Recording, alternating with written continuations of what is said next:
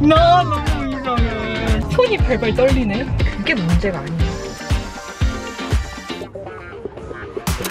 안녕 여러분. 오늘은 제가 정말 정말 기다리던 날인데요. 저 현대 H 스타일리스트 활동은 끝났는데 현대자동차에서 지원을 해주셔서 아이오닉을 5일간 타고 다닐 수 있게 되었습니다. 그래서 지금 시승 차량을 받으러 갈 거예요.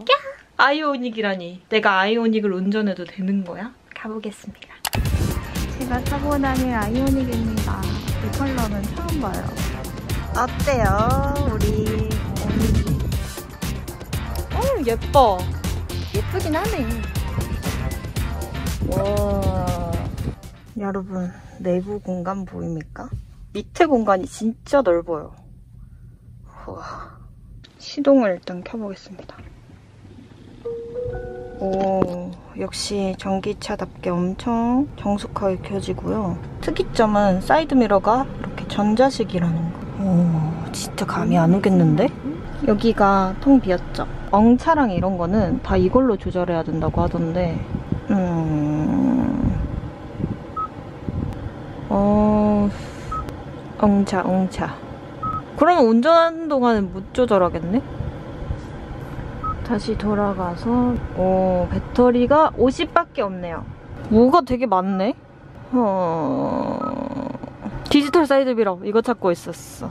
후방 거리 표시선이 있더라고요. 아직 디지털 사이드미러에 대한 그런 감이 없으니까 후방 거리 표시선을 켜고 해보도록 하겠습니다. 어렵다 어려워. 와 핸들이 진짜 가볍다 와 차가 이렇게 조용해도 돼? 어이씨. 차가 너무 조용해요. 와 진짜 이게 투싼이랑은 또 다르구나. 제가 투싼 하이브리드를 타봤잖아요. 그래서 나는 비슷할 줄 알았다? 완전 달라. 오, 어 되게 무섭다. 나 너무 이상해. 차가 이상해 손이 발발 떨리네. 너무 무섭네 근데 확실히 그건 좋은 것 같아요. 저는 그 전기차의 엑셀이랑 브레이크감을 되게 좋아하는 것 같은 게 하이브리드랑 전기차는 둘 다 브레이크를 밟아도 울컥울컥 안 멈추거든요. 이게 smooth하게 부드럽게 멈추는데 그게 되게 좋네. 여러분 제가 50% 미만으로 연료가 떨어지는 걸 못 봐서 전기 충전을 하러 왔는데 제가 지금 시승 중이잖아요. 그래서 환경부에서 운영하는 전기차 충전소만 사용을 해야 된대요. 그래서 그런지 충전소가 막 가- 공영주차장 이런 데 있어서 충전기도 몇 개 없고 차 있고 그냥 올라와서 주차를 했어요. 그리고 사이드 미러가 불편하다고 들었는데 그게 문제가 아니야. 기어가 문제야, 기어가. 기어가 여기에 숨어 있거든요, 핸들 뒤에.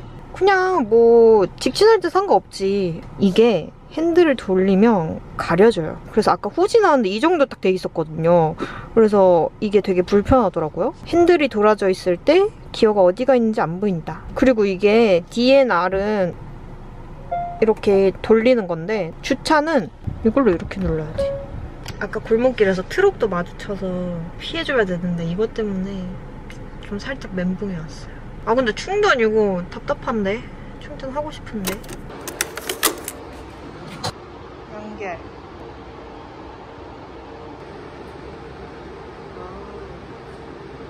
전기차는 내연기관 자동차랑 달라서 시동을 켜놓고 충전을 해도 화재 위험은 없대요. 근데 아무래도 고전압이다 보니까 조금 무서워서 저는 그냥 시동을 안 켜고 있습니다.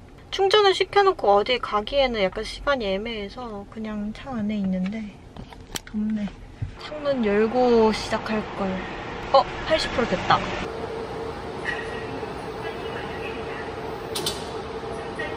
무공해요. 500원 짜릿하다. 루데이크. 라몽 언니 생일 케이크를 사러 왔습니다. 루데이크 건물은 하우스 도산 건물은 발렛이 되래요. 아이오닉을 타고 도산공원을 가니까 길거리에 있는 모든 사람이 저를 쳐다보더라고요. 이게 바로 하차감인가 봐요. 안녕하세요. 오늘은 아이오닉 타고 파주에 가려고 해요. 독립만세에 찬혁이랑 수연이가 간 그 농장을 정말 가고 싶었거든요. 그래서 가기 전에 지금 잠시 충전을 하고 있어요. 아무래도 멀리 가니까 좀 넉넉하게 충전을 해가야 되지 않을까 싶어서 지금 현재 배터리 55%. 충전 되게 빨리 되네. 한 20분 정도 만에 이 정도까지 충전이 됐습니다. 아이오닉이 내부가 진짜 예뻐요. 뒤에서 보면은 진짜 gray gray하죠. 그리고 최근에 느낀 건데 손 많이 닿는 저 앞부분은 블랙이어도 상관이 없는데 이 프레임이라 그래야 되나요? 이쪽 위쪽 부분이 gray인 거랑 아닌 거랑 개방감이 확 다르더라고요. 시트는 그레이인데 저 프레임이 블랙이면 아무래도 좀 답답해 보이는 느낌도 좀 있고 셀카도 잘 안 나오고 그렇더라고요.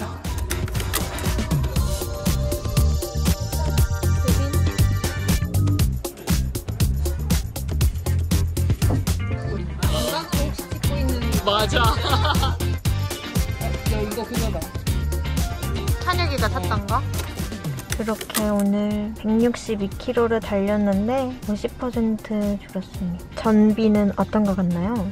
전 전기차 타면서 가장 마음에 들었던 게 브레이크를 많이 안 밟아도 돼요. 엑셀에서 발을 떼기만 해도 속도가 뚝뚝 떨어져요. 그래서 속도를 줄여야 하는 상황에서도 엑셀에 힘만 빼면 되니까 왔다 갔다 하지 않아서 무릎이 편했어요. 그리고 많이들 궁금해하시는 디지털 사이드미러. 처음엔 많이 낯설긴 한데 생각보다는 나쁘지 않았어요. 운전석 쪽 사이드미러는 금방 적응할 수 있었고 조수석 쪽은 시간이 좀 걸릴 것 같더라고요. 다음날 야간 운전도 해봤는데요. 드라이브 코스로 유명한 북악 스카이웨이를 다녀왔어요. 디지털 사이드미러가 야간 운전에 완전 괜찮더라고요. 밤 운전을 하면 흰 차가 아닌 이상 옆에 있는 차의 차체가 잘 안 보이거든요. 그래서 라이트를 보고 그 감각을 익혀야 하는데 디지털 사이드미러는 제 눈으로 보는 것보다 차체가 더 잘 보여서 이건 진짜 괜찮다 싶었어요. 그리고 꼬부랑 길을 올라가는데 커브 도는 게 너무 부드러워서 감격했습니다. 좋다, 예쁘다. 이쪽은 아파트가 많이 없나 봐. 저거 하나밖에 안 보이네. 좀 박탈감이 좀 덜 드네. 난 오늘 아이오닉을 타면서 다 그런 박탈감이 들었어. 아파트 살고 싶다. 아파트 살았으면 아이오닉 계약했다.